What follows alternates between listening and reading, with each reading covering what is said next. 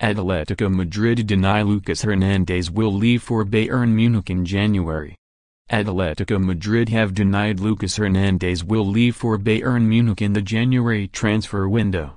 Spanish newspaper Marca reported on Wednesday that Bayern were ready to pay the 80 meters, 72 million pounds, release clause for the France international defender. But in a rare step, Atletico have dismissed the left-back will move to the Bundesliga giants who are also said to have denied plans of a move for the player, insisting Hernandez has no intention to leave them.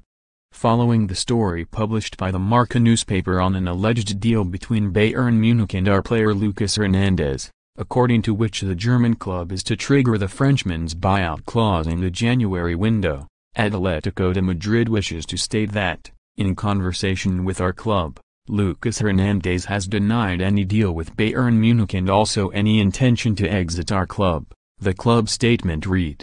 Additionally, the excellent relationship between Atletico de Madrid and the German club has led Bayern Munich to deny said operation during a conversation between officials of both clubs.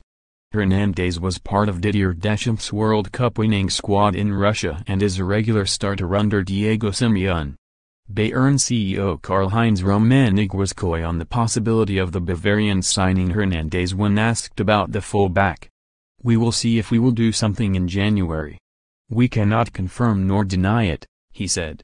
I have a great relationship with the Atletico Madrid president. The 22-year-old extended his deal in the Spanish capital last summer until 2024, having made his first team debut at the club in 2014.